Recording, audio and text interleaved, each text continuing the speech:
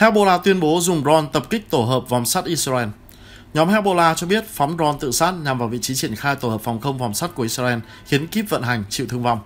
Lực lượng phòng vệ Israel IDF ngày 16 tháng 4 thông báo hai phương tiện bay không người lái drone bay từ Liban rồi phát nổ gần một thị trấn miền Bắc nước này, đồng thời cho biết đang điều tra lý do còi báo động không kích hoạt.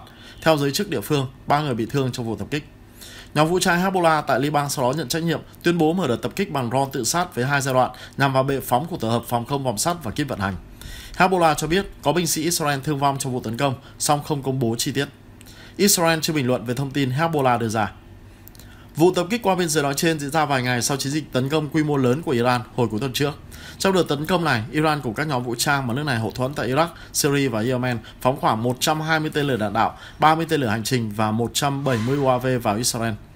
Quân đội Israel thông báo cuộc đồng minh và đối tác hạ 99% mục tiêu. Tuy nhiên, một số tên lửa Iran vượt qua được lưới phòng không và đánh trúng lãnh thổ Israel, trong đó có căn cứ không quân Nevatim là nơi bố trí tiêm kích tàng hình F-35L. Một số quan chức Mỹ dự báo Israel có thể không đáp trả trực tiếp Iran do trận tập kích không gây ra thiệt hại lớn về mặt hạ tầng.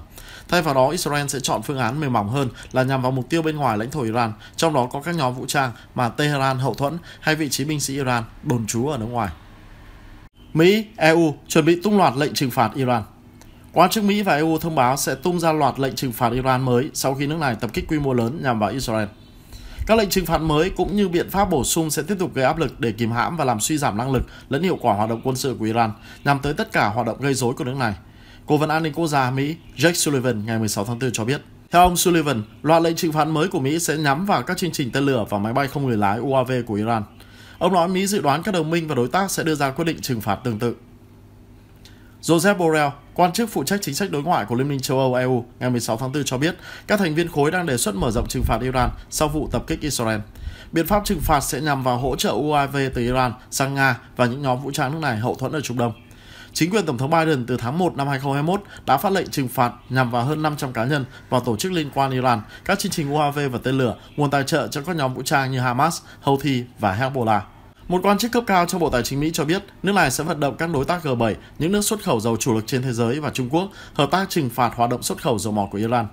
Ngoài ra, nguồn cung linh kiện điện tử sẽ trở thành mục tiêu trừng phạt để hạn chế năng lực chế tạo UAV của Iran. Ngoại trưởng Israel Israel Katz cho biết các ngoại trưởng EU đã thảo luận gia tăng áp lực lên Iran. EU đạt nhiều tiến triển trong thảo luận nội bộ để đưa các lực lượng vệ binh cách mạng Hồi giáo IRGC vào danh sách khủng bố, dự kiến công bố trong phiên họp của Hội đồng Đối ngoại EU tuần sau tại Luxembourg. Iran cùng các nhóm vũ trang mà nước này hậu thuẫn tại Iraq, Syria và Yemen ngày 13 tháng 4 phóng khoảng 120 tên lửa đạn đạo, 30 tên lửa hành trình và 170 UAV vào Israel. Quân đội Israel thông báo cùng các đồng minh và đối tác đã hạ 99% mục tiêu. Tuy nhiên, một số tên lửa Iran vượt qua được lưới phòng không và đánh trúng lãnh thổ Israel, trong đó có căn cứ không quân Nevatim là nơi bố trí tiêm kích tàng hình F-35L. Một số quan chức Mỹ dự báo Israel có thể không đáp trả trực tiếp Iran do trận tập kích không gây ra thiệt hại lớn về mặt hạ tầng. Thay vào đó, Israel sẽ chọn phương án mềm mỏng hơn là nhằm vào mục tiêu bên ngoài lãnh thổ Iran, trong đó có các nhóm vũ trang mà Tehran hậu thuẫn hay vị trí binh sĩ Iran đồn trú ở nước ngoài. Trước bối cảnh căng thẳng ngày càng leo thang, ngày 15 tháng 4, đại diện cấp cao về chính sách đối ngoại và an ninh của Liên minh châu Âu EU, Joseph Borrell cho rằng khu vực Trung Đông đang đứng trên bờ vực và kêu gọi giảm leo thang căng thẳng giữa Israel và Iran.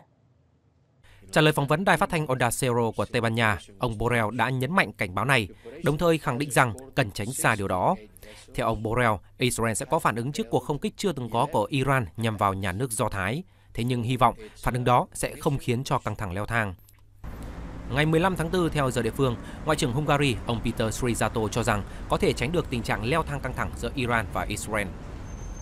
Ngoại trưởng Srizato cho biết, sau vụ tấn công của Iran, ông đã thảo luận tình hình với người đồng cấp của Nga là Sergei Lavrov và người đồng cấp tại các tiểu vương quốc Ả Rập Thống Nhất Abdullah bin Zayed Al Nahyan vào tối 14 tháng 4.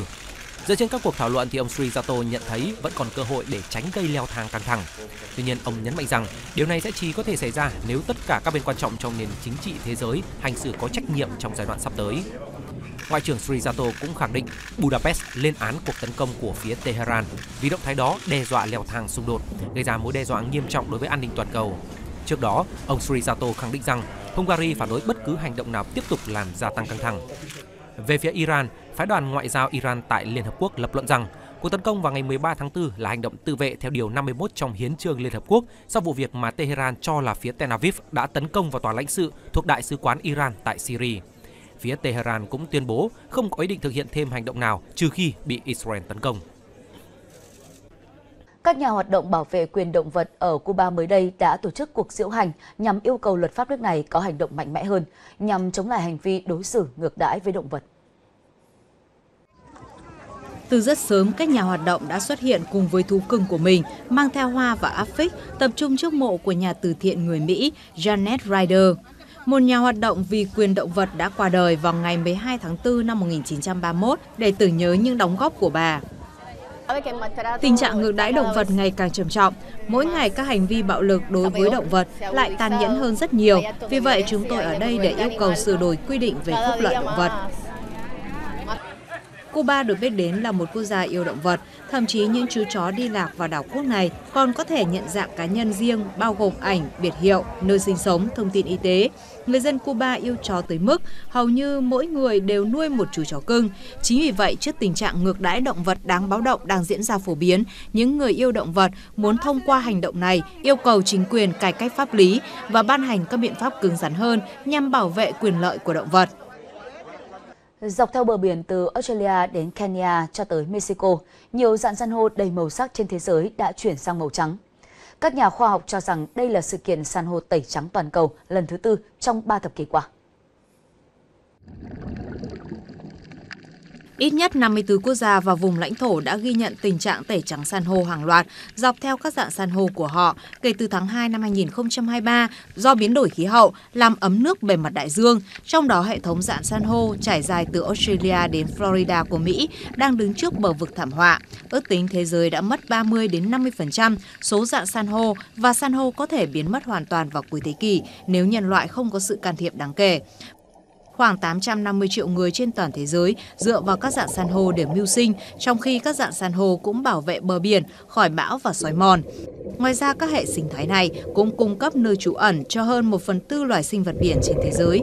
Giống như sự kiện tẩy trắng năm nay, ba sự kiện gần đây nhất vào các năm 1998, 2010 và 2016 có sự trùng hợp về hình thái thời tiết El Nino thường dẫn đến nhiệt độ nước biển ấm hơn được coi là một trong những công trình tiếp đón nhiều du khách nhất ở châu Âu. Nhà thờ Đức Bà Paris, di sản của UNESCO đã bị hỏa hoạn vào chiều ngày 15 tháng 4 năm 2019, khiến cả thế giới bàng hoàng. Sau 5 năm sửa chữa tu bổ thì công trình dự kiến mở lại vào cuối năm nay. Ngọn lửa bùng phát vào ngày 15 tháng 4 năm 2019 đã làm sụp đổ phần tháp nhọn, mái cùng nhiều bảo vật khác của nhà thờ Đức Bà Paris, công trình biểu tượng Pháp. Tổng thống Pháp Emmanuel Macron tuyên bố sẽ cải tạo và xây dựng lại di tích thời Trung Cổ này trong vòng 5 năm. Từ thời điểm phát ngôn của vị Tổng thống, công việc trùng tu nhà thờ kiến trúc vô thích vẫn diễn ra mỗi ngày và đúng tiến độ. Cho đến nay, dự án đã tiêu tốn khoảng 550 triệu euro, tương đương 14,7 tỷ đồng, trong đó có sự đóng góp to lớn từ tỷ phú ngành bán lẻ François Harry Pinot và tỷ phú sở hữu công ty hàng xa xỉ lớn nhất thế giới gia đình Anos. Nhà thờ chính thức được lên kế hoạch mở cửa trở lại vào ngày 8 tháng 12 năm nay, mặc dù công trình không sẵn sàng cho Olympic Paris như dự tính ban đầu. Du khách đến thủ đô nước Pháp mùa hè này sẽ một lần nữa có thể nhìn thấy ngọn tháp cao chót vót của nhà thờ Đức Bà sau khi dỡ bỏ giàn giáo xung quanh.